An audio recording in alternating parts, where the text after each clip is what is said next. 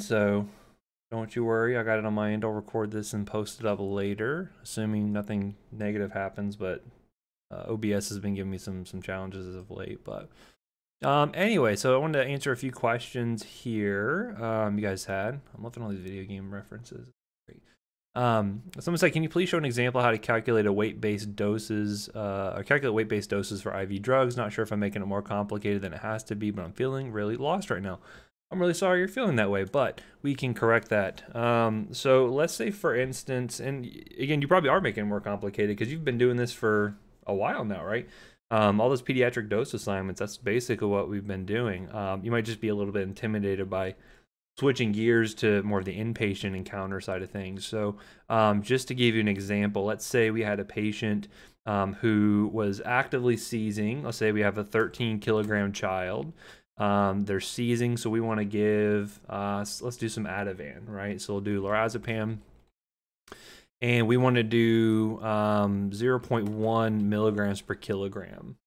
Okay, and we'll do that IV once. And so we want to calculate that out. So then you say, okay, well, um, you know, how much is that going to be? And it's pretty straightforward. You really just take the 13 kilograms, you multiply it by the 0.1 milligrams per kilogram, and then equal that out and they get 1.3 milligrams because the, the kilograms would cancel that out at that point. So your order would look something like lorazepam 1.3 milligrams IV push once, right? And that would just be your order. That's all you have to do at that point. Okay. Um, a lot of times your systems, like your EMRs, you'll have buttons you can just click. So you could just hit the 0.1 mgs per kilo and it'll calculate it for you. But I think it's still good for you to be able to know how to do it yourself should you be put into that position. So uh, hopefully that makes a sense. Um, you know, if you wanted to do something like, say, for instance, um, let's say you wanted to do a drip of something. So let's say we wanted to do, um, I don't know, let's just do uh, morphine, like a morphine drip for pain. Uh, we wanted to do 0.05 mgs per kilo, do the math a little bit more difficult, uh, milligrams per kilo per hour. Okay, and let's say we had the same size kid there. Well, you have to take the calculator out here. We do, move it over so you guys can see it. Um, and we did 0.05 mgs per kilo per hour times 13 kilos. Your kilos still cancel out, right? And so at that point there, you could say uh, morphine drip uh, 0.65 milligrams per hour. So that way, just the kilograms is what gets canceled out, and then you just have that dose per hour that you would have. Then on our end, on the pharmacy end, we would figure out the concentration to use. We'd figure out how big of a syringe to send. And then uh, what the fluid rate would actually be based off of that concentration. We would send it over, nurses could hook up to the pump, and then everything is good to go. Okay. Um, so yeah, don't overcomplicate it. And honestly, if you can just follow your units and make sure you cancel things out where appropriate based off of what you're multiplying, it's fairly straightforward.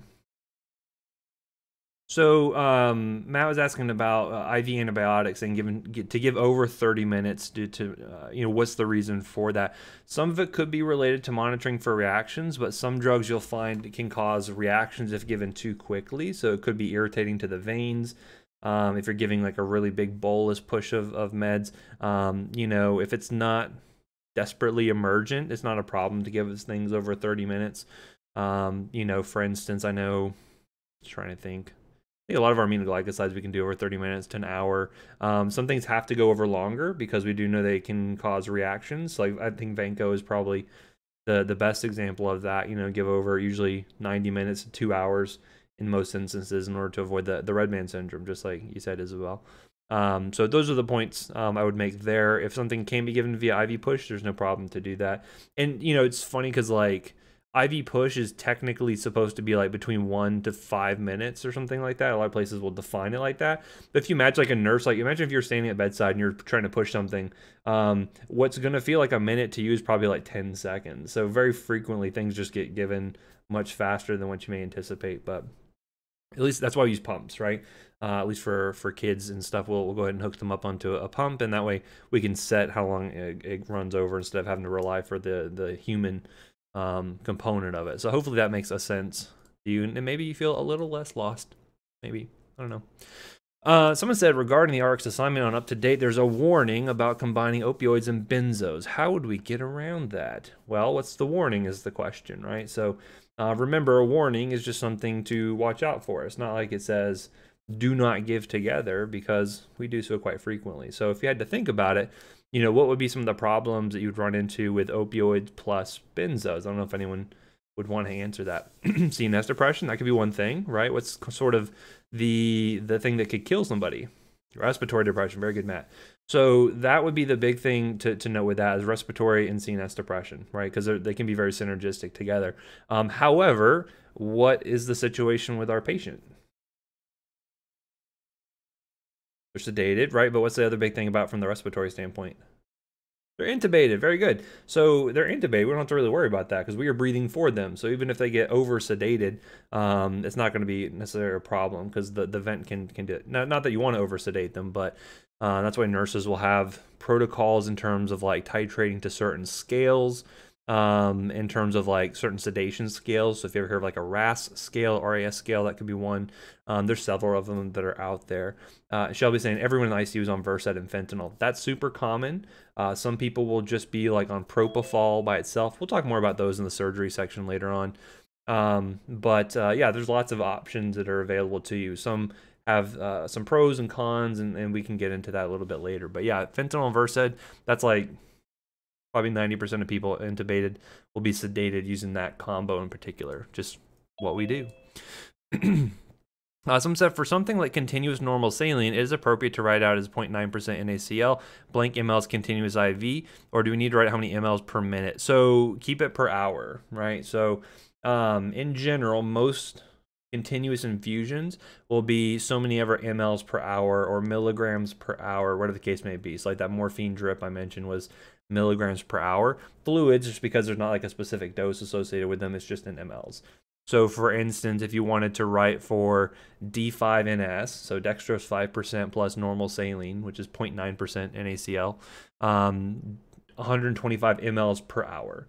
If you just wrote 125 mLs, that's that that would be like a bolus. That's just how much they would get in total. But per hour means that that's how much they're going to get uh, every single hour until you modify that order or discontinue it. There are some things that will be per minute. This is usually more so with like cardiovascular meds you'll see used in the ICU. So on our assignment, let's say we had our patient require a norepi drip for blood pressure management. We haven't covered pressors yet, but we'll get there and um, you might do that as like say 0.1 mics per kilo per minute, right? It's important to keep those distinctions in mind because if you screw that up and do it per hour versus per minute, you could either get 60 times more of a dose than you intended, or you get 160th of the dose, which is neither is, is going to be good for the patient there. Um, yeah, so that's that's how I would handle that. What other? Any other questions before we get started with the rest of the material? I feel like we uh, you might have answered this last class, but how would an order look with the loading dose? Yeah, so Alyssa, asking about the loading dose. So what we could do for that, um, so let's say like, I'm trying to think of a good example. Let's say, so let's do like phenytoin, right? Let's go ahead and do phenytoin. Um, actually, that's probably not a good example because that doesn't get followed up by continuous infusion. Let's do like lidocaine continuous infusion, right?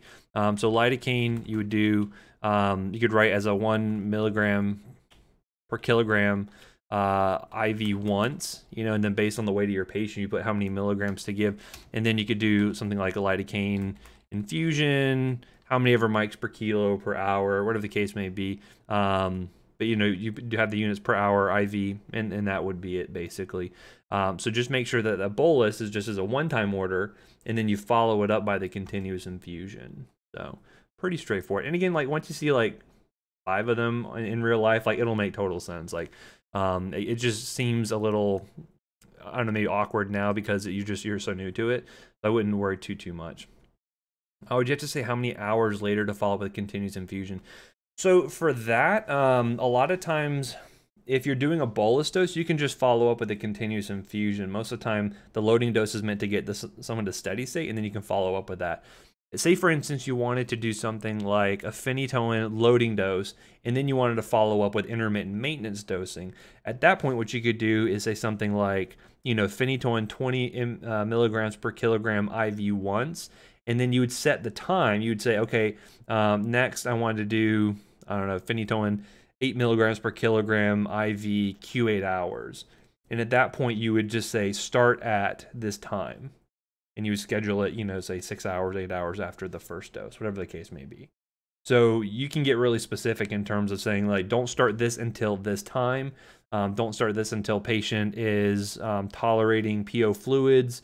You could you could set a lot of parameters on that sort of thing that hopefully the nurses will read and and and you know be able to follow that right? And hopefully your pharmacy team is going to be able to interpret your orders and be able to do it you know, set it appropriately. And then the nursing people can carry it out or respiratory therapist or whoever is, is going to be carrying out the orders that you're writing there because you're the boss. You're you're the ones calling the shots right? Um yeah i said no loading doses on the assignment. Um when he had two two tandem questions. Uh yes i just want to keep it simple. Don't worry about loading doses on the assignment. Just go ahead and just I just want you to get experience writing the orders themselves.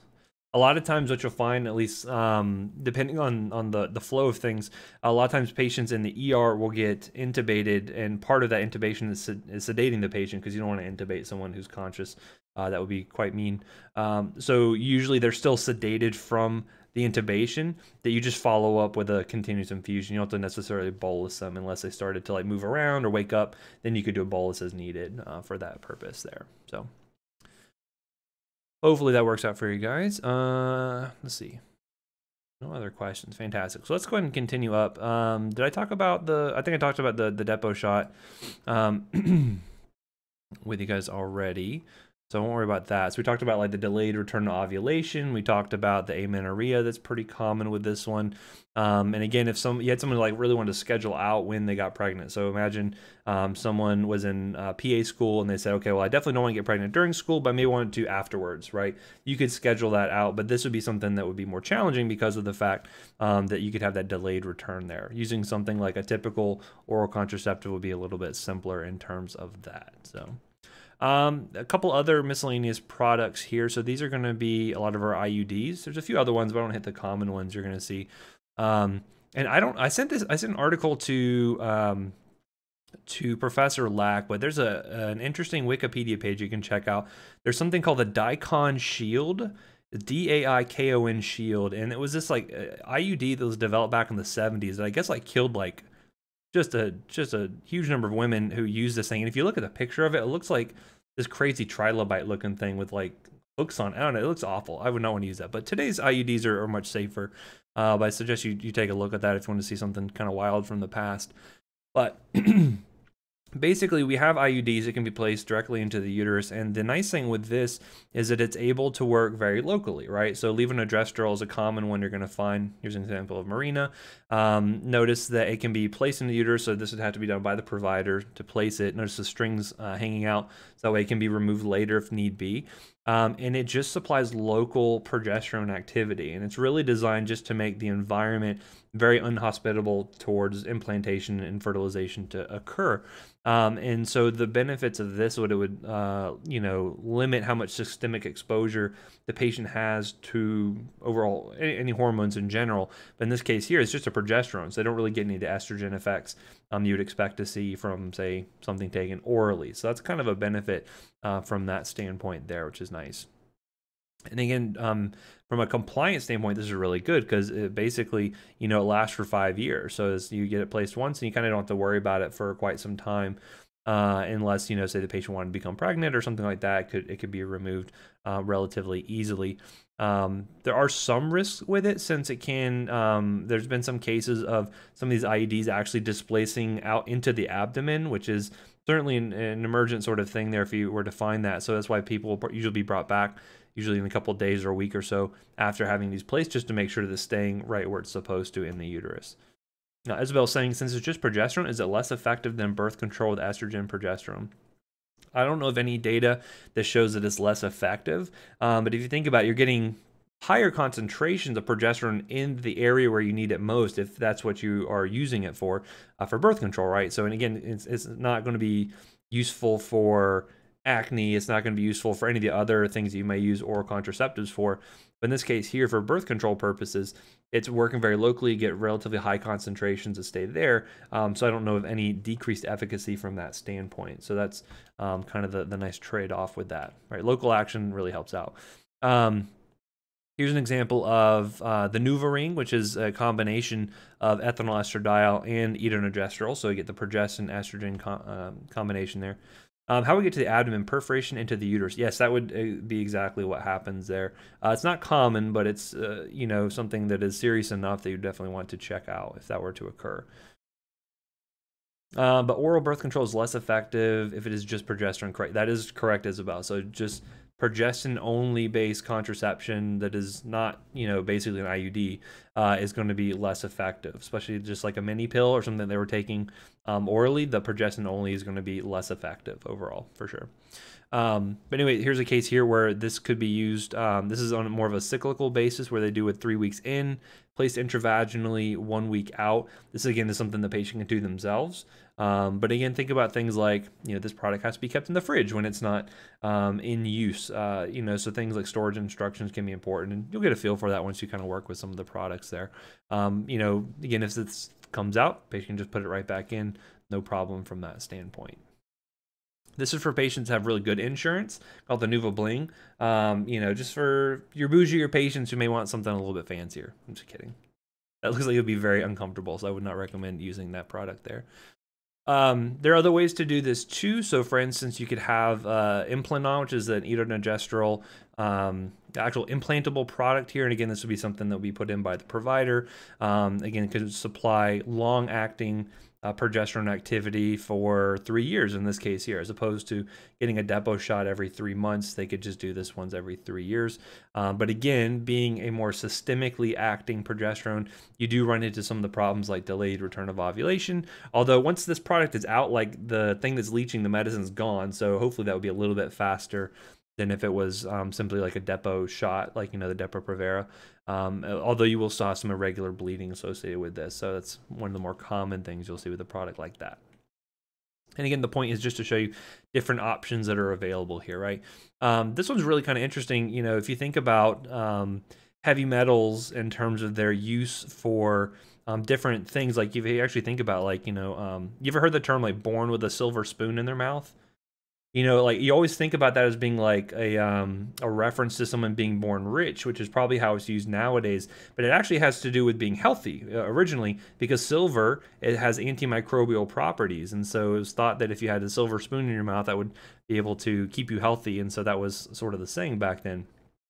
I'm not going to ask you the the duration of action no um, again, you'll get comfortable with these products if you work with them, and you'll you'll kind of get a feel. Just know that's one of the benefits is you can get long acting effects out of these products here. Uh, but anyway, so it's interesting to find different places for metals to be used. We talked about gold products being used in, in uh, rheumatologic conditions. Here's a case where we can actually use copper. So using copper um, and this Paragard here can be utilized uh, basically, again, having this environment where you're leaching out these copper ions uh, makes it very difficult for implantation to occur. Sperm really don't like it. They don't really uh, transport as easily as they normally would. And so it does provide good benefits there. And again, changed every 10 years. So it's one of those things that's kind of set it and forget it from that standpoint, which is kind of beneficial, I think. And again, you can see some cases of like emergency contraception being used with a Paragard. Um, you know, I didn't get too much into that last time because I mainly wanted to focus on the hormonal uh, based ones, but this is one example of a non hormonal based product that could be used for uh, emergency contraception. Basically, you just place this after uh, probably within that 72 hours, I would imagine. Maybe it changes, but um, and that could you know prevent the the pregnancy from occurring there. Okay, so that's it mainly for the birth control products there. Um, again, remember kind of what are like your big contraindications to use for these products. Kind of know the differences between why would you use, um, you know, an estrogen progestin combination versus progesterone, or what are the, the trade-offs you see with that. Um, you know, side common side effects. You know, uh, kind of understand about the um, you know the differences between like you know a biphasic versus a monophasic just what the difference means in terms of like changing the dose um, uh, th- you know throughout the cycle there um, how to schedule things if you needed to. If you needed to move someone's period around, you could do that. You know, that honeymooning technique we mentioned. All those kind of things I think are, you know, you guys probably have a pretty good feel for it already. So, anyway, there are different ways we can try to inhibit or antagonize the effects of estrogen in the body. So, um, I'll give you a few examples here uh, that we'll go through in, in some more detail, but you can kind of do it from every level of this whole axis here. So, going all the way from the hypothalamus down, we can do things like by giving either GnRH antagonist or agonist, we'll see that we can have some variable effect there. Um, we'll see things um, such as like clomiphene or contraceptives can have effects on FSH and LH, which you know to suppress ovarian function. Um, and then you will also find things like aromatase inhibitors can have a really strong effect here as well. This is important for patients who you want to really drop down their estrogen levels. This is like the way to do it because it's basically going to keep all this estradiol from being formed. It's going to be stuck as testosterone. Now, you might imagine there's going to be some side effects associated with that, uh, and that's certainly something that will be borne out in the upcoming slides here. But we'll look at some different options here and how they might be used potentially for our patients. So, getting into it first with our selective estrogen receptor modulators or SERMs. Uh, the first one we actually had was tamoxifen or Nolvadex. And basically, these products here are going to be acting as an agonist in some tissues as an estrogen, but an antagonist in others. Okay, and so the benefit of that is you get some selective action in terms of what you're looking for with these particular agents here. So, as an example, um, uh, tamoxifen can act as an agonist in the bone and in the endometrium, but an antagonist in the breast tissue, right? Because I wouldn't want to block estrogen effects throughout the entire body for someone with breast cancer because then I worry about osteoporosis, right?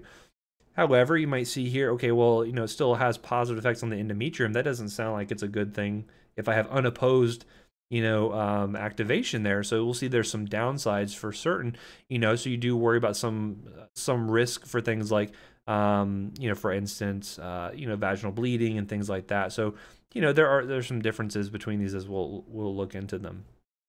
And again um, we're not really sure why they fully work but it probably has to do with various tissues expressing different types of estrogen receptors or maybe different kind of flavors of the same estrogen receptor such that they have different activities so that way bone reacts differently than the uterine tissue versus the breast tissue as an example um, now as you might imagine by blocking estrogen um, receptors in these tissues, you can end up running into some issues. So, for instance, um, you're going to have a lot of hot flashes and vomiting in these patients because you're basically losing all that estrogen activity they would normally be making. So that's kind of the downside there. But you can see it being used for like breast cancer prevention, um, palliative care for postmenopausal women, you know, things like that. Um, it was kind of its most common use there. Um, and again, you could use it also from an osteoporosis standpoint. We didn't really talk about these drugs too much back in the rheumatology section, uh, but that is one benefit. Again, you get better bone density for those patients there, at least from you know you're not losing that effect, I should say, from from blocking the estrogen because it's activating it in the bones. Uh, but certainly, as you might imagine, again, getting that partial agonist activity, increased risk for endometrial cancer, the vaginal bleeding, and then you still get some liver effects. So you can certainly see thromboembolism being at risk, right? So there, there are trade offs with something like this. As compared to something like raloxifene, which is going to be more acting as an estrogen on the bone and the lipids, but it doesn't stimulate the endometrium or the breast tissue. So with this one, you don't really have the endometrial cancer risk, which is good.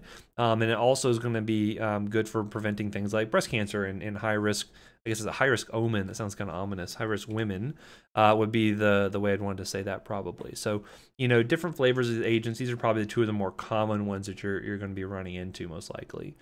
Um, another agent here, uh, you'll see clomiphene or clomid. This is actually kind of interesting because this one's used for uh, basically inducing ovulation. So if you have patients who have, are having difficulty uh, conceiving, um, this may be a drug they'll give there. So this is interesting because it's a uh, partial agonist and actually ends up binding to the hypothalamus. So basically it tries to interrupt the feedback loop by basically making it seem like there's not enough estrogen activity because it's only partially agonizing those receptors. So the hypothalamus says, well, there's not enough estrogen here. How am I going to fix that? It's going to release more FH, uh, FSH and LH, and that should kick off the ovulation cycle again. So that's why you may see Clomid being used uh, for that particular purpose. Uh, next, we have our estrogen antagonists. So these are going to be far worse in terms of side effects because these are going to block estrogen basically everywhere. Um, and so you're going to find that there's going to be um, a lot of masculinizing effects. Can Clomid cause patients to have twins, triplets? Um, I'm not sure of the specifics. Um, you know, it's always one of those things you hear, like people go on. Um, actually, you know, it's funny. One of my um, my wife's friends, she was unable to carry a child her own due to some medical issues, um, but they ended up using a surrogate. Um, and I believe that they um, uh, had used Clomid as part of the process there, uh, but that surrogate ended up having twins you know, so it's like I guess I got the BOGO deal from from that standpoint, which I don't know if I, I would appreciate that kind of sale, but you know, their two kids are pretty cute, so I guess it I guess it worked out in the end. But um, yeah, so maybe there, there is some increased risk. I don't I don't know what the actual percentage is necessarily. But um, anyway, so something like danazol uh, also is going to have some a host of side effects due to things like uh, having some androgenic and progesterol effects. Remember, by blocking the estrogen receptor specifically, you're going to be basically inducing menopause. So a lot of those same symptoms are going to be happening here, as you're going to see. Um, there's actually several different uses for it that we'll run into. So things like um, one, it can actually suppress ovarian function, which kind of makes some sense there. Um, is able to sort of inhibit that that um, that surge of LH and FSH you would see sort of towards the second to third week of the menstrual cycle. Um, and it can be used for things like endometriosis. By blocking the estrogen receptors, is able to um, you know, basically prevent the, the development of that tissue, and hopefully that won't cause as much irritation and pain as it normally would. Um, also, interesting enough, you can use it for some hematologic conditions, so things like uh, idiopathic, idiopathic thrombocytopenic purpura, uh, Christmas disease, you know, things like that. Uh, but certainly, as you might expect from the different actions here, um, weight gain can occur due to some of the androgenic effects, um, glucocorticoid effects. You're going to get decreased breast size, um, you know, hair growth, you know, hirsutism because you're again you're losing those estrogen effects, deepening of the voice. So pretty side effect pro, uh, laden, but you know, useful for patients who don't really have any alternatives, right? So this would be sort of a backup agent to some of these other ones. And then we have the aromatase inhibitors themselves. So this is basically blocking that conversion of testosterone into estradiol. And so you can imagine here, not only do you lose the estrogen effects, but now you also have a lot more testosterone being formed as well. So these are going to be even more androgenic overall. And these might be used uh, for an example for people who maybe are resistant or not good candidates for something like tamoxifen. You could do that as an alternative potentially. But then things like anastrozole, letrozole, exemestane. Exemestane actually tends to be the worst out of the bunch here in terms of uh, side effects because it's an irreversible inhibitor. So until that patient makes new aromatase, it's basically, you know, it's going to be uh, completely inhibited. And so you're going to see sort of the most dramatic effects out of that drug versus something like a reversible inhibitor like letrozole and anastrozole. So, and again, here you have to worry about things like fractures because you're going to be losing all that estrogen effect on the bone. Lipid profile is going to be suffering here. Um, really few pro-estrogen uh, issues here than you're going to see with tamoxifen. So maybe no bleeding risk or no uh, clotting risk, but certainly you're going to run into those issues, especially from the, the bone standpoint. So that's a, that's a big deal. Okay, so that's pretty much it for the stuff, uh, the things we're going to be covering for the exam. Do you guys have any questions in the meantime? Uh, someone said, "Are we supposed to give normal saline for the assignment or dextrose for the sugar levels?" Um, what did I put fluids on the assignment? I don't believe I did. No, just just the two meds for sedation and then the three antibiotics. That should be all you require for that. And I, guess if you wanted to write extra stuff, you could, but I'm not going to grade it. I might tell you if it looks really wrong or not, but I would not be. Don't worry about that. Don't give me more work than I already have, okay? There's 61 of you guys. It's already a lot. Okay. So anyway, so that's that.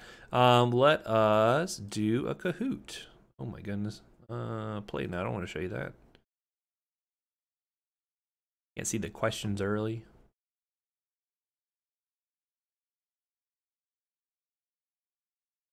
All right. Here is your pin to come on in. And I'll keep an eye on the sticky board, see if any questions come up in the meantime. Now, I did set these all for 20 seconds, so all of you uh, navel gazers out there that like to wait till the last second, you're going to have to think on your feet. So.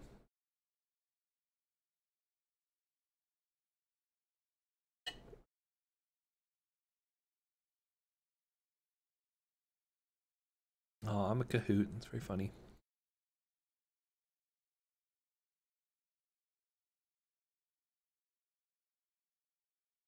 And the, uh, the exam is all finished up. It's all been reviewed and ready to go. So I think It'll be a good Friday. I hope. You guys may not think it will be a good Friday, but it should be. Me no pause. Uh oh. Is the Kahoot the best place to announce that sort of thing? I don't know. Would fail now. Oh, not good.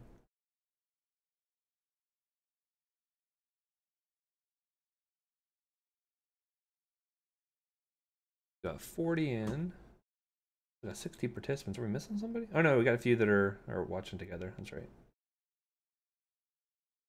Don't need to send out the uh, cops. You had to go find somebody. That's good. All right, I'm gonna go ahead and get started. You guys, the pin will still be there, so you can do that. I don't. Did I fix the settings?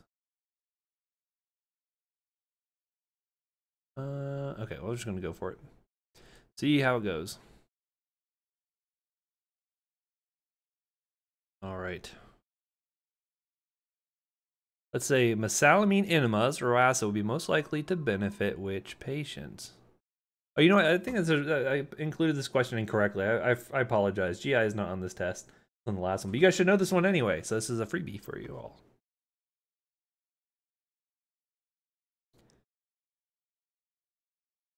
First question, I already screw it up, man. No good. Yeah, very good, right? Remember, uh, the enemas are good for ulcerative colitis, not really good for anything else, especially like Crohn's, because it really wouldn't touch those tissues. And you saw enema, and some people thought constipation, but nope, not this particular drug. Okay, the rest of them should be good, though. I hope. Uh, which is not a common effect seen with hydromorphone overdose. I think we kind of touched on this briefly, but hypertension, respiratory depression, lethargy, and miosis. What do we think?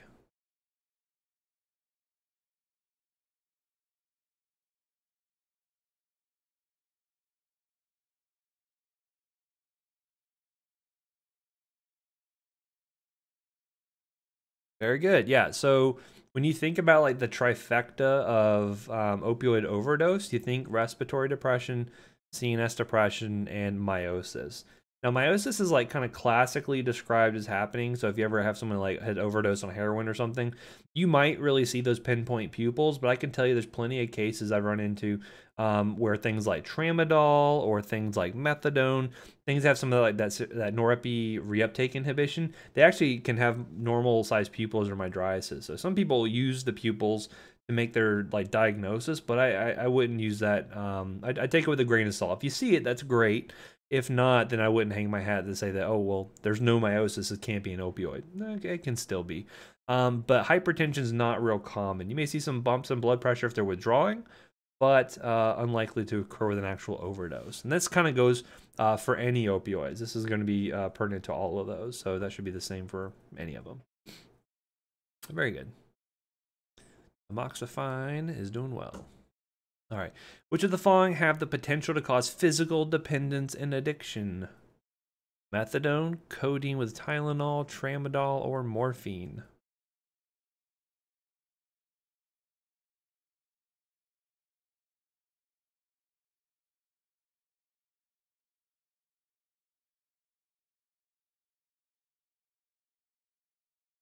This is a patented trick question. They're all capable of causing this. Um, anything that activates the mu receptors can potentially cause physical dependence and addiction. Now, again, what's more likely to occur? Physical dependence or addiction? What do you guys think? Bamboozled yet again. I think addiction's more common than physical dependence. Anyone agree? Disagree? Maybe not. Like that quick reversal. Yeah, physical dependence is expected. If you're on opioids chronically, almost everyone's going to develop some degree of physical dependence, okay? Addiction is a much different thing that, right? That's where you're using the the substances despite harm. Um, this is very dependent on a patient's genetics, uh, social situation. I mean, there's a million factors that go into it, and it's not easy to say yes, this person will become addicted, this person won't. But it's almost guaranteed that if you're on it for any long period of time, uh, there will be a bit of physical dependence associated with that. Everyone can withdraw even if they're not addicted to these substances. Okay. Um. Someone has a question. Uh, someone said, "How does estrogen therapy alleviate endometriosis pain? Wouldn't estrogen increase the proliferation of the ectopic endometrial tissue. You would think that, but it's honestly it's that follicle stimulating hormone, the luteinizing hormone. If you can help to blunt that by kind of activating that negative feedback loop, that will help to mitigate some of that. So that's my understanding of how that's going to help um, in terms of that. So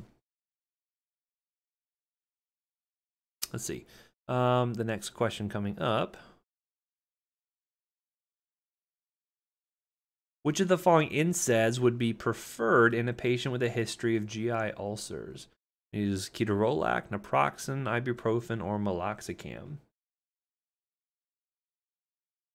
The GI question, but I know we covered it in the ortho sections. Okay.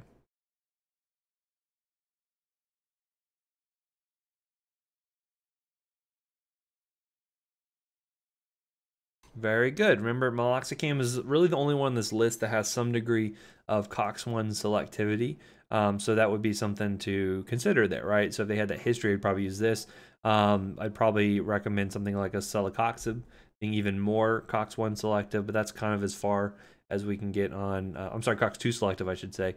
Uh, that's as far as we can get in terms of that spectrum, because anything more selective than celecoxib, we saw uh, had to be taken off the market due to that increase in death and, and whatnot, which is you know not ideal for your patients. Normally, like to keep them alive. Um, which one do you think would be sort of the worst here in terms of causing GI issues? Any ideas? Yeah, probably Toradol is, is going to be the worst one. Remember, that one has like a three to five day maximum, and you'll see that a lot if you're using it inpatient.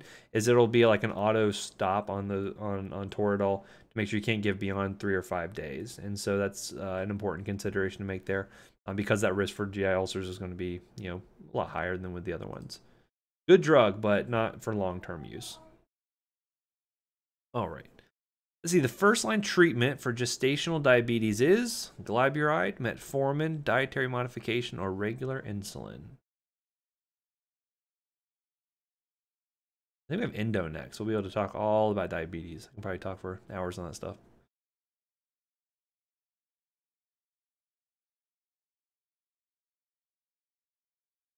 Uh, interesting. Yeah, so always, always, always, if you can, for pregnant patients, go with the non pharmacologic stuff first.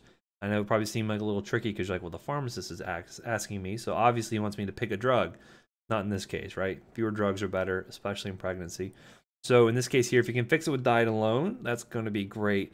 Um, may not be possible, especially have like pre-existing diabetes. Um, and so in which case, any of these three are going to be could be used. They have shown some safe use in, in pregnant patients. Um, a lot of times, I think insulin might be the one that a lot of people would want to go with because it is more quote unquote natural because that's that's what we release ourselves. This is the same insulin, the same amino acid sequence as what we produce. And again, using a protein being a big molecule, it can't really cross the placenta, so it doesn't really affect um, the fetus, unlike uh, you know some other drugs could. If they're smaller, can get across. So that's kind of one of the benefits of insulin versus some of the other ones. But you have to inject yourself, which is kind of the downside. Patients may not like that. And again, if you have questions, feel free to post them up. You know, uh, which medication blocks sodium channels to prevent neuronal transmission of pain signals? Buprenorphine, capsaicin, lidocaine, or naloxone.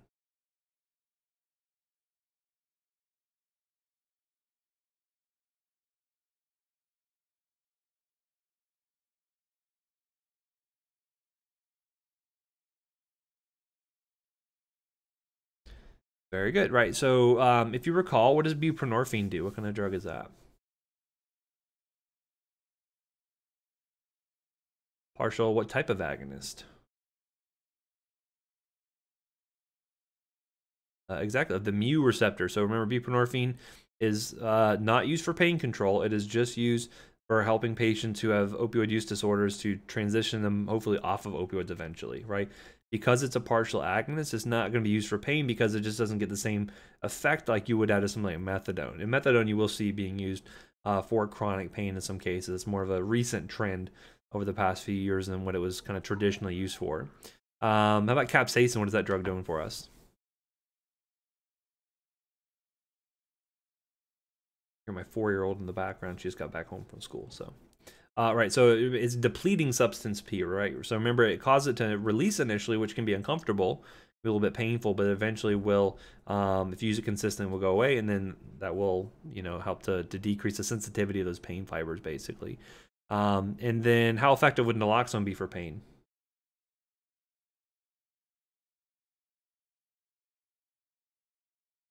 bad. I, that's yeah, not very, not at all very good. Um, yes, yeah, so that's the opioid antagonist, so would not do a thing. In fact, if they were on opioids, it would make their pain even worse because now their opioid effect is missing. Very good. Uh, someone said, "Can you explain what sugar pills are used for one more time?" I don't know what I'm so confused on that. Um, yeah, sugar pills are just kind of another term for like placebo pills, right? Um, so it's basically a drug or a pill with no active ingredients in it. You could give to a patient and say, "Listen, here, this is going to fix your blood pressure." And maybe to some degree, they if they think that it's going to fix their pressure, maybe it'll do something. Um, but that was one of the problems we ran into with behavioral health stuff is that frequently um, it was uh, you do see a strong placebo effect with a lot of behavioral stuff. So they feel like they're going to be taking something for their depression. It may actually help with their depression. Um, so that's why I, I, mentioned sugar pills, just another term for placebo. Alrighty. A patient misses three doses of her OCP. How should she get back on schedule? Uh, DC the rest of the pack and start a new one on Sunday. Take the whole pack at once and restart next Sunday. Take one extra pill for three days and continue as normal, or take three pills today and continue as normal.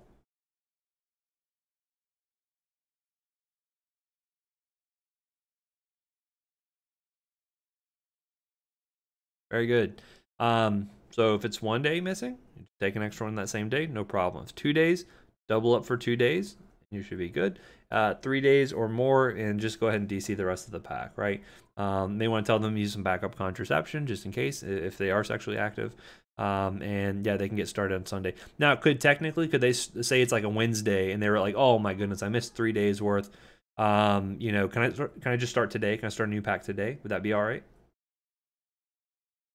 Mm-hmm. That is correct, Shelby. Right. So again, there's nothing magical about Sunday in terms of birth control. You can start any day you want. It's just a matter of when you're going to have the withdrawal bleeding. Again, if the weekends are usually when they're working, maybe they don't care. Maybe that's fine. Um, it just depends on what their preferences are.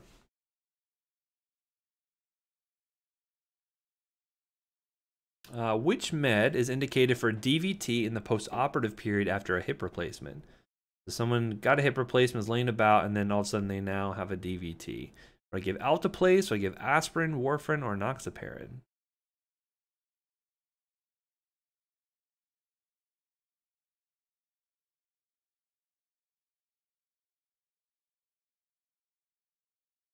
Very good, right? So what would be the problem with using warfarin in this case here? Not immediate. Right, it doesn't do anything for an active clot, right? This is more for prevention of clots, and it takes like a couple of days for it to really kick in. Make love, not warfarin, perhaps. Um, Right, so it does take some time to kick in, so that's why you have to bridge it with something else in terms of warfarin. Now, had I put something like Eliquis on here, like apixaban, would that have been appropriate?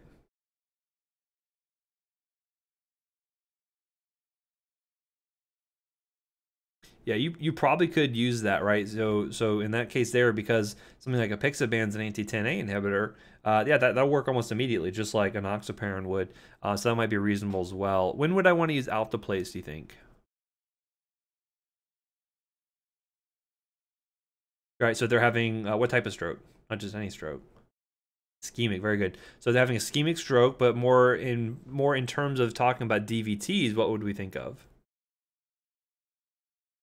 Yeah, right. So if you had someone who's having like a massive PE and you weren't able to maybe um, get them to like interventional radiology or somewhere where they can get that taken care of more interventionally, um, you could do alteplase. If they were like unstable, going to cardiac arrest, you could do alteplase, and that may be used occasionally. I've done a handful of times uh, back when I was in the, the adult world. What about an ischemic limb? Um, probably not systemic alteplase. There may be, and I don't have a ton of experience with this, but there may be some instances where, uh, like an interventional radiologist or someone could actually go in and apply alteplase to the the actual site where the blockage is, and that may be uh, something they do. So they'll do that sometimes for strokes. They can do that for um, you know heart attacks. There's there's different ways they can do that. So that, that could be a potential. I'm not sure if it's done a lot though uh, by any means. And then aspirin does that really work for venous clots? Yeah, not really. It's more on the arterial side of things that where that's going to be helping out there. A very emphatic no from Andrea. Very good. Uh, that's my question. Could you please repeat uh, what was safe for use in gestational diabetes? Yes. Um, so insulin is probably like the most like quote unquote natural thing because regular insulin is the same amino acid sequence as what we produce. So it's it's the exact same insulin, right? Um, In fact, the only difference between like, because if you ever see like Humulin versus Novolin, the only difference is like how they make it in terms of like what organism they've engineered to make it, whether it's like E. coli or a yeast or something like that. Um, but it's the same exact protein that you would be making yourself. So from that standpoint, and the fact that insulin's a big protein, can't cross the placenta, relatively safe. Um, there have been instances where metformin's been used, which is like an insulin sensitizer, which I'll get it more into in the endocrine section later. Uh, and then with um, uh, glyburide or glipizide, any of those sulfonylureas, those basically make the, uh, the patient produce more of their own insulin. Uh, and that has been uh, used as, as, well. So really, any of those could be potential options, but you want to hit the dietary stuff first. And I think um, a lot of women, I imagine, would be pretty motivated to do so. Because um, again, like I said, a lot of people don't want to take medications while pregnant. Uh, they worry about, you know, even if it's a, you know, a small chance, it could still affect their fetus. They they usually shy away from that. At least that's been my experience. Okay, up next. So, which medication for RA works by inhibiting the Janus kinase proteins? Tocilizumab, etanercept, tofacitinib, or methotrexate.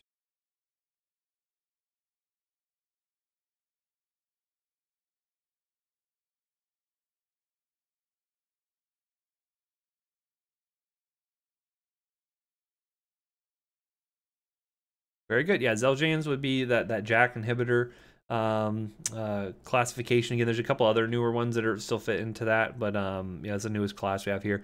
Uh, how about tocilizumab? What does that work against?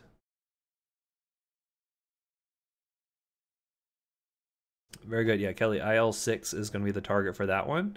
Um, oh, is it funny? Is it bad? I only remembered that one because of all the commercials that come on. I don't know. I don't get. I don't watch a lot of TV, so um, that's very funny that it's getting a lot of um, uh, you know, promotion. But it makes sense though. I mean, it's like an orally available product.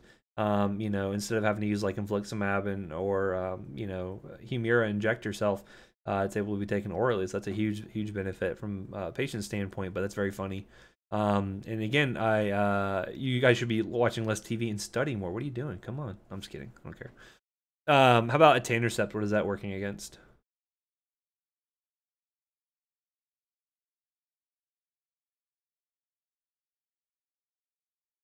Anyone? Anyone? Hmm. There's a TNF alpha inhibitor. So there's another, is that first TNF one that we talked about. I know you think a lot about Humira and, and, and Remicade, but uh, Enbrel is also another one of the TNF alpha blockers as well. And then everyone knows methotrexate blocks what? Very good. Folic acid. Yes, cannot utilize folic acid. What would be, uh, the FDA recently put out a warning on Xeljanz for serious cardiac issues slash cancer risk. Um, yeah, I've not recently looked at it, but we can check it out together if you want. We have enough time. It's LJN. And see. So again, when you're looking at this stuff, it's always good. You can check out like you know the top here, and they always just like put special warnings and stuff. So certainly we talked about serious infections, but you can look at things like mortality. So okay, so uh, greater than 50 is greater than one cardiovascular risk factor treated uh, tofacitinib had higher all-cause mortality, including sudden death. Right, so you know that could be another good thing. Maybe I'll add that for next time, uh, but probably not on this test. Uh, certain malignancies. Yeah, you find that it uh, tends to happen a lot with a lot of the um, uh, the biologic products as well. You see those those risks associated with that. So again, you know, um, take the good with the bad in a lot of situations. Let's see. Why would you give uh for DVT in a pregnant patient unfractionated heparin? Um, actually, for for DVT in pregnancy, you can do enoxaparin or unfractionated heparin. Um, either are pretty safe. If you look at the actual molecules, they're fairly large, um, so they don't really affect the fetus that much, which is good. Um, so yeah, any of those heparins would be totally fine. I don't know if there's any evidence for use for some of the newer anti-10A, anti-10A inhibitors in pregnancy. I've not looked at that yet, um, but um, I, that may change as time goes on. So who knows? No problem. Again, I'm I'm fallible. I don't know everything, so I, I always like to learn new things as well, just like you guys do. Uh, which of the following should prompt immediate discontinuation of oral contraceptives?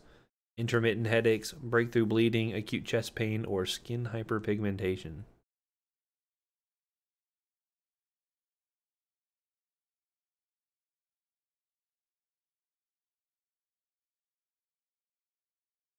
Very good, right? Because acute chest pain could be what? PE, yes, very good.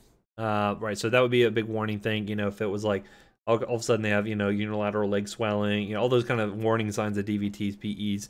Um, those would be stuff you'd really be worried about. No, like stroke isn't super common because again, it's more on the arterial side than on the venous side uh, typically. So that would be less of a risk there. But um, you know, again, if they get intermittent headaches and it was like, oh, it's the worst headache my entire life, then yeah, that would be a different story. But you know, routine intermittent headaches, I wouldn't necessarily worry too much about that. Um, breakthrough bleeding that typically improves as time goes on, uh, and you know, the patient may want to stop due to skin hyperpigmentation, but it's not necessarily like an absolute um, you know deal breaker in terms of discontinuing it immediately. So very good.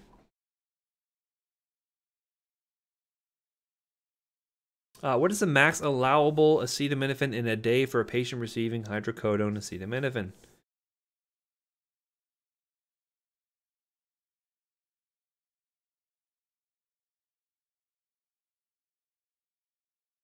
Again, sometimes I ask questions because I want to like really tickle your gray matter and find out if you can apply this stuff in a very nuanced and uh, sort of fashion. Sometimes you just got to know certain facts, right? So this is like one of those cases there. Uh, 4,000 milligrams, four grams right? The unit of measure messed you up. That's the point, right? Um, you got to know your units. I don't know if I did I ever tell you about the the aspirin story um, where the units were told to me incorrectly. Just real briefly. So I had a, I had a case one time where um, a uh, a nurse. I was talking to a nurse. They were trying to get a consult. I was talking to a nurse on the phone for an aspirin overdose. And I've mentioned before, aspirin overdoses can be quite scary if they the levels get particularly high. Um, and and in fact, a automatic indication for dialysis is once the levels get up to like 80 to 100 uh, milligrams per deciliter. And so, um, you know, because the patient could uh, certainly uh, develop a huge metabolic acidosis, start to seize, and just die. So I had a, a, nurse I was talking to one time. They said, "Oh, I said, well, it's the aspirin level," uh, and they go, "Oh, it's 400." And I go, so the patient's dead, right? Like you're getting the, the chaplain to come by, uh, getting a, a, you know chaplain consult, and they're like, no, the patient's like fine, maybe breathing a little bit fast. I said, well, hold up, like what are the units on that? They said, oh, it's micrograms per ml. Once I did the conversion, the milligrams per deciliter is like 40, much less, you know, high level, but much less scary than something like 400, which would be sort of incompatible with life. So units are important there. Uh, but yeah, 4,000 milligrams. If they have a history of like hepatic impairment, you may want to drop that lower. So something like 3250 is frequently recommended. Um, but the max, uh, as long as they don't have any you know other past medical history that would you know uh, interfere with this, is 4,000 milligrams, and that's all sources. So if they're taking OTC Tylenol in addition to Lortab, uh, these all have to add up, and if they exceed four grams, then that's no good, right? Moving on. Which of the following medications is most appropriate for acute treatment of pain? We use oxycodone extended release, OxyContin, we use Lortab, heroin IV, or fentanyl patch.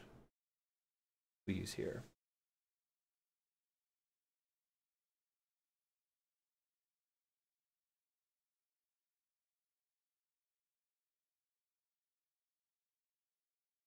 Very good. So why wouldn't you use uh, OxyContin for acute pain? It's ER, very good. It's an extended release product, right? I don't, I probably don't need to have 12 hours, eight hours of relief from something like oxycodone extended release, but immediate release, yeah, I'm going to get much faster onset, shorter duration of action. That would be appropriate there. Uh, how about the fentanyl patch? Why would why would, would we not pick that?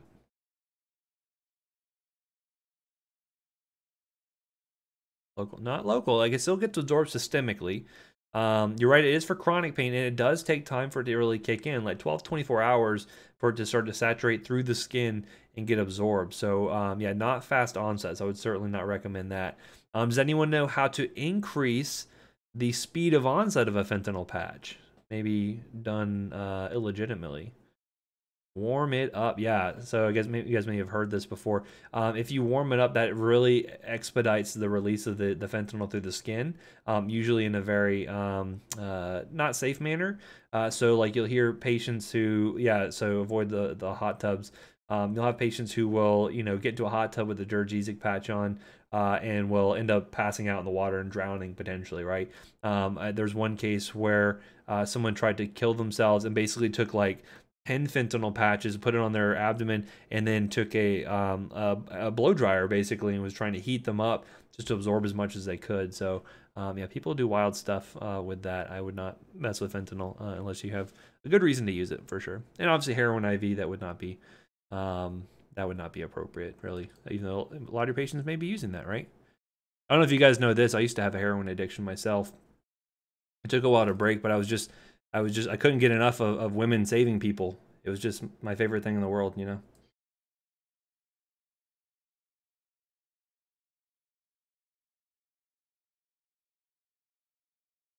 All right, which of the following should be avoided in patients taking phenelzine or Nardil?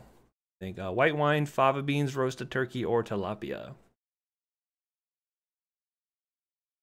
Still cracking myself up about that joke.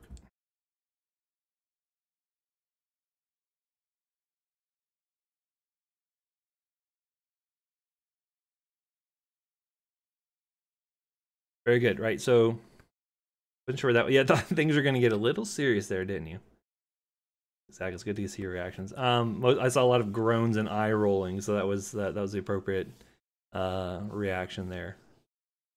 Although I do have a bit of a qualm with you guys. I know some people were checking out my office yesterday, and I had a bunch of antidepressants in there, and someone stole them. So I hope you're happy now. You know. Um. All right. So MAOIs, right? Phenelzine. So remember um, what we uh, should avoid here. So that's the bougie foods we were talking about. So um, you know, red wine, uh, anything high in tyramine, you know, so the aged cheeses, aged meats, all that stuff. Fava beans in particular happen to have a high amount. Um, but like fresh stuff is generally fine. Fresh meats, fresh uh, vegetables, white wine, uh, canned beer, you know, things like that tend to be pretty okay from that standpoint. So um, again, it may seem a little esoteric.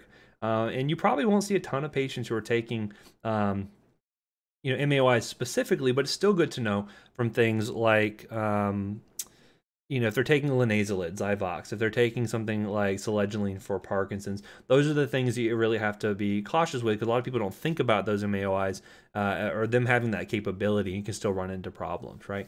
Uh, saying, I heard the class above us got you a dad's joke book and you'd read them some jokes from it. Yes, I, I still have, uh, the book might be at my office actually, so it's, I'll have to go grab that at some point so I can read a few to you all.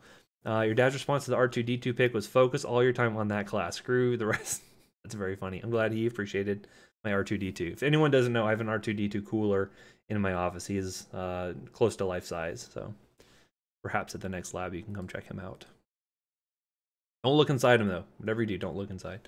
Uh, which is uh, agent is the best treatment um, option for pregnancy-related hypertension? Use furosemide, ramipril, methyldopa, or candesartan. We think.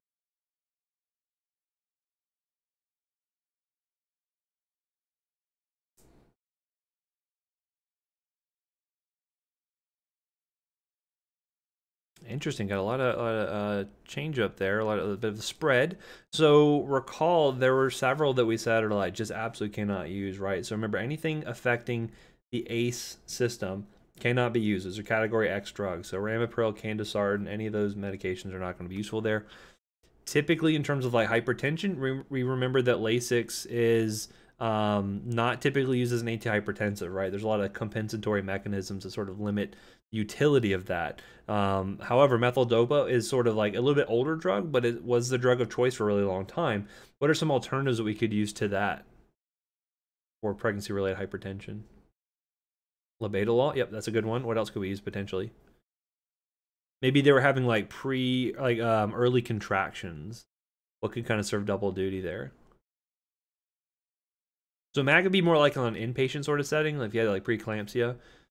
Yeah, so like a dihydropyridine calcium channel blocker would be good there. So like nifedipine or nicardipine, uh, nicardipine's an IV, but nifedipine's a, a common one there.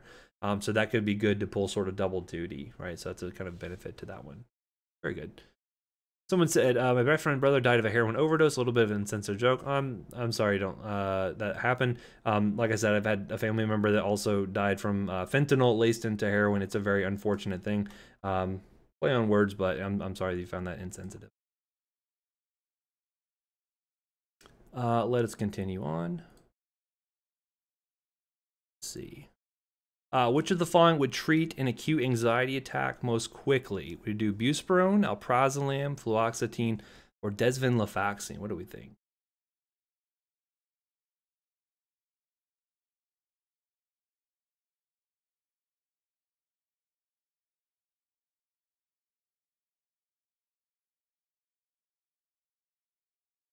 Very good, right? So um, acute on like you know someone's having an acute panic attack, um, alprazolam, other benzos are typically going to be your go-to. Um, what's kind of the downside of using one of those for like an acute panic issue though? Say for something like that, they, someone had to take a test. Yeah, so uh, sedation would be a, a, big one with that. So you kind of consider, yeah, you could have some memory impairment associated with that. Usually oral benzos, I wouldn't worry too much about that at typical doses. Um, but yeah, that could be a concern as well. Um, how about these other ones? When would you want to use those? For anxiety specifically. Mm-hmm. Yeah, so more like long-term uh, prevention of anxiety. So things like, and again, be careful. Sometimes uh, things like more norepi effects, things like desvenlafaxine, they can sometimes aggravate that a little bit. The norepi tends to be a little bit kind of uh, agitating. Uh, so for most patients, you probably still want to start out with like an SSRI. So like fluoxetine's a good option there. Uh, if they couldn't tolerate that, or if maybe they're already on an SSRI, you want to add something on, maybe buspirone or buspar could be a good option in that case too. So it really just kind of depends on how you want to sort of implement those. But yeah, SSRIs I think are most common for sort of long-term maintenance, and then you could have like an as-needed, you know, alprazolam or Klonopin or something like that. They they could use as needed for for acute anxiety. Yep. All right. Um, Outside of question. Okay, can you explain uh, why a calcium channel blocker would be good for treating hypertension in pregnant patients having contractions? Yes. So if you recall, we talked about tocolytic therapy. We talked about things that can kind of help to inhibit um, the uterus from contracting. And so it's a smooth muscle, just like in lots of other places, uh, just like on the, the blood vessels. So by giving a, a dihydropyridine specifically, you can help to relax that uterine smooth muscle, and it will then also help to treat the blood pressure as well. So I've had actually had a family member who was on um, uh, nifedipine for that particular purpose. It killed two birds with one stone, so to speak. Uh, and then they were able to, you know, avoid having to be on like labetalol plus something else, like terbutaline or or something, which those two would actually antagonize each other pretty pretty effectively. So hopefully that makes a sense. Up next, uh, patient with ADHD and substance abuse issues would benefit most from which of the following? Uh, mixed amphetamine salts, bupropion, dexmethylphenidate, or atomoxetine.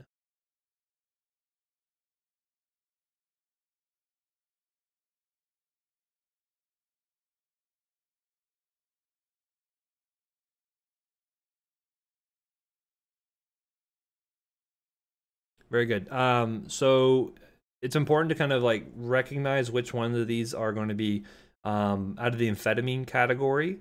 So things like your dexmethylphenidate, the mixed amphetamine salts, um, uh, you know, just because it doesn't have um, amphetamine in the name doesn't mean it doesn't fit into that category. So that's why I put dexmethylphenidate there because it kind of you know tricks you up a little bit. You want to be able to recognize all of those. Um, any of the amphetamine-based products, again, or C2, they do carry that risk um, for addiction and, and uh, physical dependence. So it'd be something you want to be cautious with if they have that history.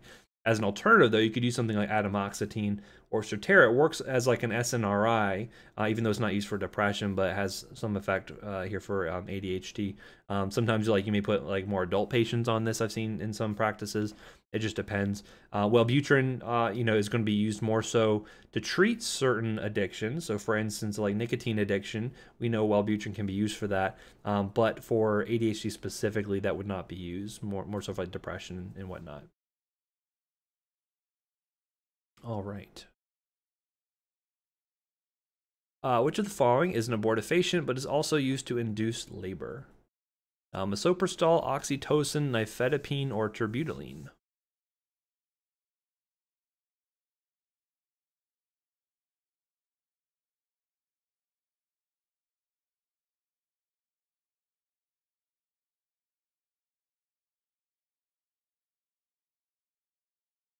Very good. All right. So misoprostol's kind of had a history of being used as both. Um, you know, any kind of prostaglandin. Um, we talked about like dinoprostone, you know, being used more locally in order to help uh, with cervical ripening and helping to kind of move things along. Um, which one of these other ones would also be considered to uh, be like a labor inducer?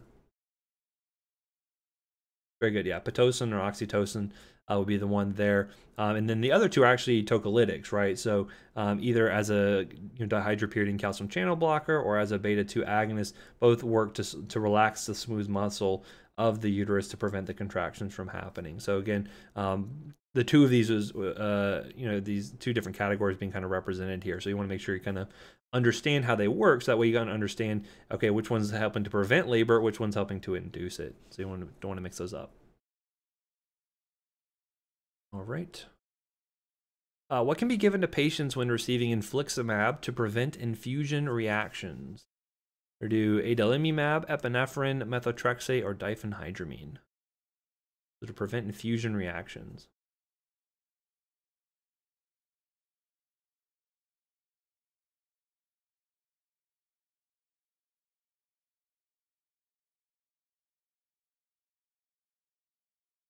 Very good, right? So this is to do with the infusion itself to like kind of prevent some of like um, some of the the itching and and uh, rash may appear with this because remember infliximab is that chimeric protein, so it's a higher tendency to do that. Um, so Benadryl can be useful from that standpoint. Um, when would I want to use epinephrine? Right. So if they have anaphylaxis due to getting that medication, so again, their blood pressure starts bottoming out, they start to complain difficulty breathing, like those are the things you're looking for. And you'll oftentimes have standing orders for that available. So it'll already have an order saying epinephrine 0.3 milligrams, uh, you know, i IM PRN anaphylaxis, something like that. Um, what is the benefit of using methotrexate with something like infliximab?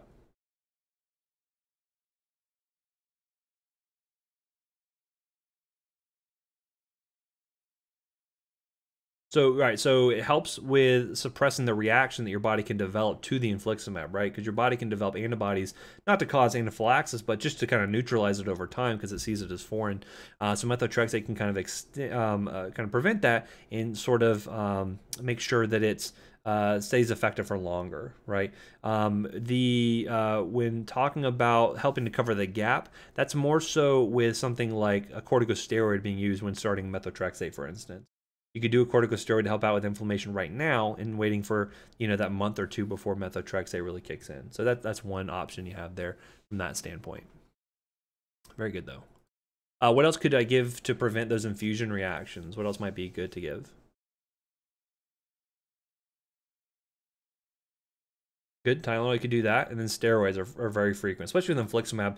Uh, it's very often they'll getting uh, they're getting a dose of corticosteroids. That again, the side benefit of giving the steroids is it not only prevents infusion reactions, but also treats the RA that they're experiencing as well. So you kind of get two um, two for one sort of use there. Very good. Uh, which of the following is true regarding medical marijuana? Would you say short-term memory loss is a potential side effect? Memory lo- or weight loss is a common side effect. Oral administration has the fastest onset, or it may only be prescribed for indications supported by randomized controlled trials.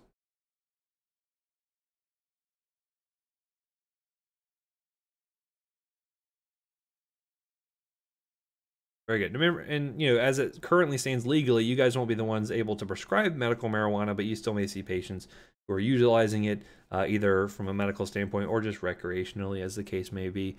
Um, right, short-term memory loss is certainly a potential side effect. They can certainly be under the influence, impaired judgment, all that stuff. Um, you think about when uh, patients are utilizing marijuana. Um, why is weight loss not a common side effect?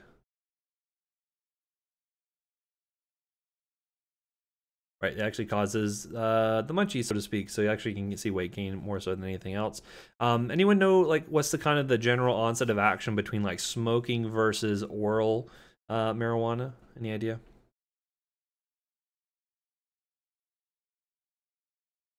Right. So smoking is much faster. If you think about you're inhaling it, it gets into the the lungs. There's a huge surface area there. It's going to absorb very quickly. With the oral stuff, that you can sometimes get into trouble with those. Um, there's some interesting case reports coming out, like Colorado, when they first had made it more recreational. Um, you can sometimes have like 90 minutes before like oral um, uh, marijuana preparations actually kick in. And so one, one of the challenges that you'll find with some of these uh, patients is that they'll take like an oral dose and then they'll sit there and wait for like 30 minutes or so and they don't feel anything, right? So then what do they do at that point? That's why you eat one brownie, not 10. Right. So if they're waiting and they don't feel anything, then they go and take more. And then they wait another 30 minutes and nothing happens, they take more. And so they end up dose stacking uh, and then by the time you uh, the first one kicks in, you've had way too much. And so that's one of the challenges you'll run into with oral is that people don't understand sort of how it's going to affect them, especially if they are uh, novices to the world of, of marijuana. Yes, say hello to the moon. Uh, some people said they uh, they caused uh, couch lock, where basically they were just so high they just were stuck on the couch and couldn't move and some people uh, would even like present to the ER. Now, again, how many times have I seen someone present to the ER just for using marijuana? Very rarely, unless they got into a car accident. But in some of these cases, people are so having like you know paranoid delusions that they actually called 911. So it could could happen there. All right. Up next, uh, controlled studies in women fail to demonstrate risk to the fetus during pregnancy. What pregnancy category would you call that?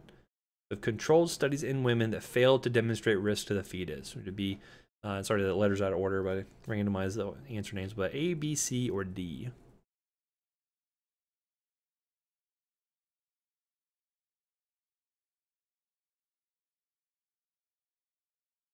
Very good. Yeah. So if we have good evidence, and this is usually like retrospective evidence, it's not like we carry out like new trials for drugs.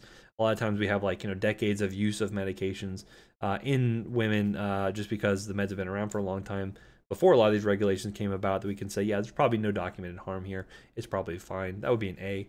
You know if sometimes if there's like animal evidence of harm but in humans we haven't seen anything that'll oftentimes get a b categorization uh, at that point there. Um, obviously c is like a big i don't know maybe good maybe bad. And d would only be if there is a specific reason where the risks to the uh, fetus are outweighed by the benefits to the mom, right? Like life or death sort of situations.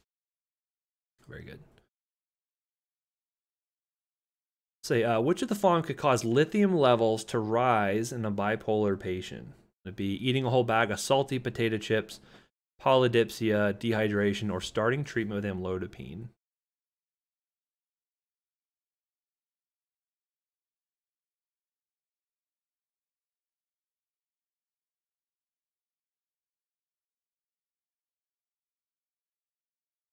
Very good. Now, why would dehydration cause your lithium levels to rise?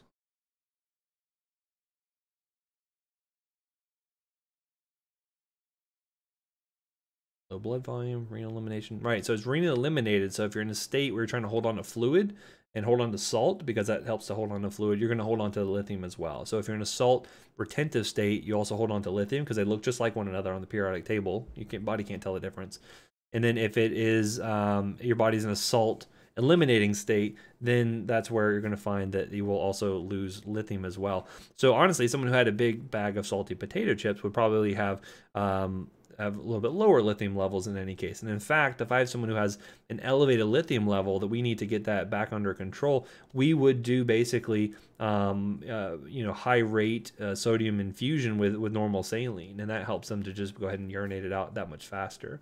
Um, you know, polydipsia would have more of a, a you know a dilutional sort of effect, so I wouldn't worry about that. Now, I put amlodipine here. That wouldn't have any specific effects on lithium, but what antihypertensives could affect uh, our uh, lithium levels? Anyone know? ACE inhibitors could do it for sure, right? Because they close down on the efferent arteriole. Diuretics will also do that as well. So loops diuretic, loop diuretics, uh, uh, thiazides, any of those would be uh, big ones. Um, NSAIDs are the other big culprit that are, yeah, so ARBs will do this as well. Um, so really diuretics, ACE inhibitors, ARBs, and then non-hypertension related NSAIDs are being another big one. I've seen a lot of cases of lithium, uh, actual admissions at the hospital because lithium levels are elevated due to starting an NSAID use. Because again, that cause on the afferent arterial side of things on the kidneys to cause less filtration. So very good couple questions left here. Uh, colchicine or Colcrys would be best suited for patients with osteoarthritis, gouty arthritis, rheumatoid arthritis, or osteoporosis. What do I use that drug for?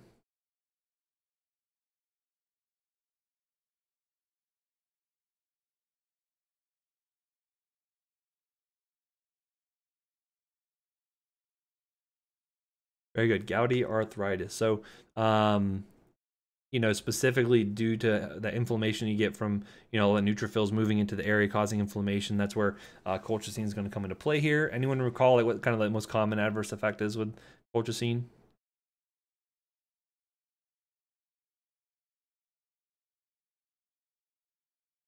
Really, really rough on the stomach. You're gonna see a lot of nausea, vomiting, diarrhea associated with this. I know I say that like for every drug, but this in, in particular is is fairly bad for colchicine because it can affect rapidly dividing cells, and the GI can be affected as well uh, from that standpoint there. So that would really only be for that. Um, now, would that be for an acute gouty attack, or would that be for more chronic management of uric acid levels? Very good. Yes, for acute. The more for so for acute. I think there may be some rare cases we use for more chronic. But remember, our, xanth- our uh, xanthine oxidase inhibitors are um, going to be for more chronic urate lowering therapy. So that's going to be more of the benefit from that standpoint. Uh, someone had a question. They say, a random question. If someone is known to have an allergic reaction to certain components of vaccines, uh, such as an additive or something like that, could they be pre-medicated and still be able to receive the vaccine if they needed it, or is it generally contraindicated if there's a known allergy? Um, generally speaking, um, and this probably comes up most often with flu, just because that's the thing that people have to get sort of on a repeated basis. Um, yeah, allopurinol is for chronic. That's, that's correct, Marley. Um, with uh, the vaccines, sometimes there are alternatives. So, for instance, if you have like an egg allergy, we can try switching out which one we're going to use. Uh, so, for instance, instead of using the the killed version of the influenza vaccine, there's a recombinant one that you can use that doesn't contain any egg proteins. So you generally try to find alternatives if you can get around it. I'm not aware of any specific cases where you would like pre-medicate. Um, generally, there's a way to sort of get around that. And keep in mind, most people get their vaccines when they're kids, um, and so you know it's doesn't come up as often with adults unless it's to do with the flu vaccine specifically. Maybe the COVID. I don't know if we're going to need repeats of that or not, um, but we'll have to see uh, in regards to that. Oh well, think um, that's very nice of you. I really appreciate that. Thank you. Uh, anyway, moving on make sure we follow up on or end on time here. Give you guys a chance to ask some questions. Uh, which of the following products would be contraindicated in a 16-year-old female with no past medical history? Ethinyl estradiol, raloxifene, spironolactone, or medroxyprogesterone?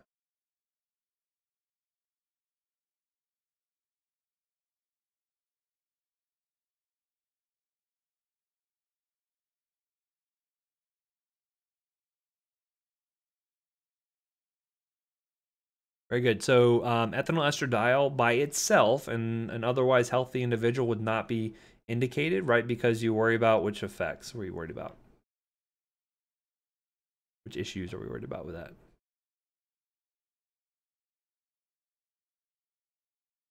Any ideas? Remember the endometrial issues? Yeah, so endometrial growth, proliferation, bleeding, cancer risk. So that's uh, the reason why you would not want to use that by itself. You don't want to use the combo. Um, and again, I would not try to trick you in a question like that. I would put very specifically if the patient has a uterus or not, you know, things like that. It would be, it would be very clear in those sort of situations. Um, could be used. I don't know of any indication of it specifically needing to be used, but um, that that could is not absolutely contraindicated. That type of patient there. Um, spironolactone is used pretty regularly, especially with acne and things like that. So that's not contraindicated. And then medroxyprogesterone would be fine as well. You could do a depot shot in, in that age patient, and that's reasonable. Very good. Uh, let's see here. Uh, which of the following is most likely to affect QTC interval at therapeutic doses? See, with the etonogestrel safe though, right? Um, yeah, you, you'd be fine with just a progesterone by itself in that type of patient. Um, so which one would prolong QT? Sertraline, clonazepam, buspirone, or quetiapine? Remember, this is my class, not Professor Austin's class. I always get a little bit of pushback on that. Someone's uh oh. All right, for my purpose, the sertraline does not prolong QT. We've had this discussion before, but um, you know, sure, her slides say what they say, and I I, I beg to differ.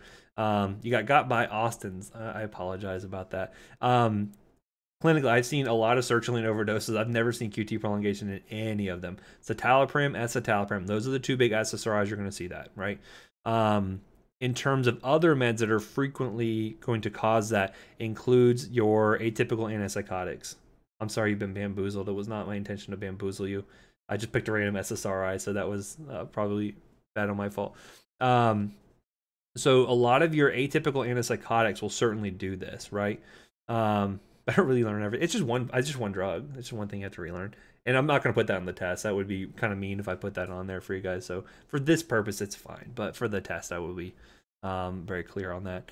Um, and I will go down to the grave defending sertraline's honor and saying it does not prolong QT by any means. Um, but yeah, so quetiapine, certainly you will see that there. Any of the anti, um, atypicals, you can see that. A lot of the um, the first gen antipsychotics can do so as well. So I always, if I ever have someone who has, um, really with any overdose, you're going to go ahead and get um, an EKG. But certainly for patients who are maybe starting on some of these psych therapies, I may consider doing EKG early just to make sure they don't have any pre-existing issues, especially once you start mixing a lot of these meds together. So if they need to be on antidepressant plus an antipsychotic plus a mood stabilizer, you can see these lists sort of get out of hand after a while, and you want to make sure that there's not going to be any major issues with that one. So, again, I, I uh, apologize for that uh, bamboozling that I did unintentionally. Two more questions. What is the drug of choice for acute dystonia after taking haloperidol? Use trihexyphenidyl, fluphenazine, olanzapine, or metoclopramide. Thank you, Nicole. I appreciate you accepting my apology.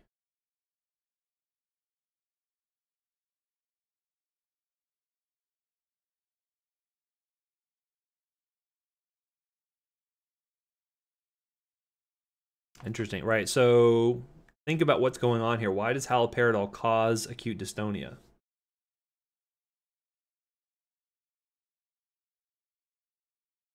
Any ideas? Nope, not tardive dyskinesia. That's a chronic issue you're going to run into, right? I'm talking more acutely. Not the cholinergic action. What is what's the mechanism for haloperidol? What's its main action? We're talking about low potency, high potency action at the which receptor? Dopamine, there it is. Very good. So remember, it's a D2 blocker. Remember, uh, fluphenazine and haloperidol are the high potency D2 blockers. The more high potency they are, the more likely are to see acute dystonias, the more likely are to see neuroleptic malignant syndrome. The lower potency ones out of the first gen antipsychotics that we covered are more so anticholinergic. They'll still have some dopamine blocking capability, but they have a lot more anticholinergic actions, which help to balance out the dopamine blockade. Because as someone mentioned, you do get increased acetylcholine, but that's not causing the dystonia, right? Um, so alternatively, which one of these drugs, which of these drugs would worsen this the dystonia? Any of them here? Reglan could do it. And then the fluphenazine too, that's the other high potency one. So that would cause even worse effects. That could cause sort of cause an NMS type of picture, that that lead pipe rigidity. So uh, very good. Um, and obviously olanzapine is going to be a second gen antipsychotic, so you're going to see less likely uh, to run into dystonias and stuff because it's more of that serotonin action that it has versus just pure dopamine. But if you have a, someone with acute dystonia due to an antipsychotic, it's always going to be an anticholinergic drug that you're using, right? So we're going to be busting out our, um, you know, trihexyphenidyl, benztropine, diphenhydramine, probably diphenhydramine most commonly, uh, at least see for acute dystonias, and for more longer prevention, uh, longer term prevention, I may see like some Artane or Cogentin, but um, yeah, so that would be the drug of choice in that case there. Very good. And for the last question, uh, patients being started on paroxetine for major depressive disorder should avoid which herbal supplement. Yeah, Cogentin also would have been good for that answer as well. Uh, valerian root, melatonin, ginkgo biloba, or St. John's wort.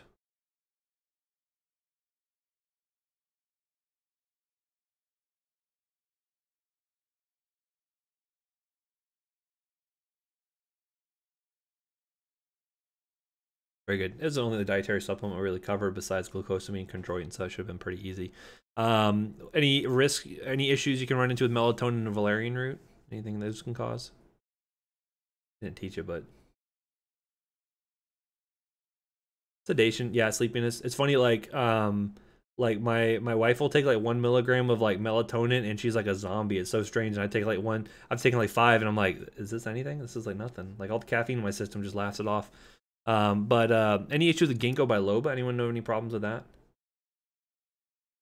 These are from memory. Yeah, bleeding is a big one. I don't know if I told you that story, but I had a lady who was on warfarin and was starting. She was elderly and was worried about her memory, so someone told her to take ginkgo for uh, her memory, uh, and then uh, basically had a massive brain bleed. And I'm dying from that because no one uh, was able to sort of find that there's an interaction there between the two. So be very careful with stuff like ginkgo um, from a bleeding standpoint if um, they happen to have anticoagulants on board. Very, very risky stuff there. Very good. Uh, so let's see who our winner is. Number three is uh, Pill Fire Pill. Who is Pill, Fi- Pill Fire Pill? Anyone? Anyone?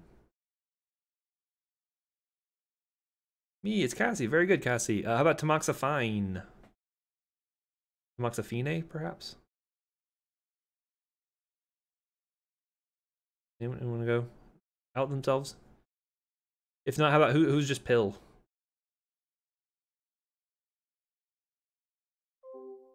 Oh, Isabel again. Good job, fantastic. All you guys are winners in my heart, though, right? Because you all made it into the Nova Orlando program, so that makes you all awesome winners in my book.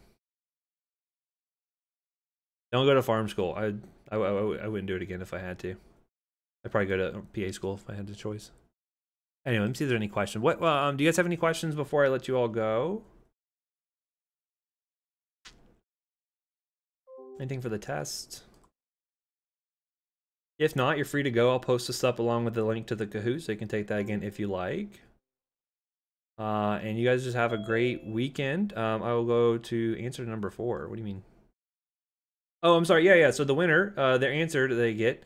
Um, I am going to tell them later, but don't tell them I'm going to tell them the wrong one. I'm actually going to lie to them. It's going to be B. Don't don't tell anyone. Anyway, um, so yeah, so I'll stay on for a minute or two, see if you guys have any questions. Otherwise, I will see you all later, and I'll check out your prescription assignments as well that are due tonight.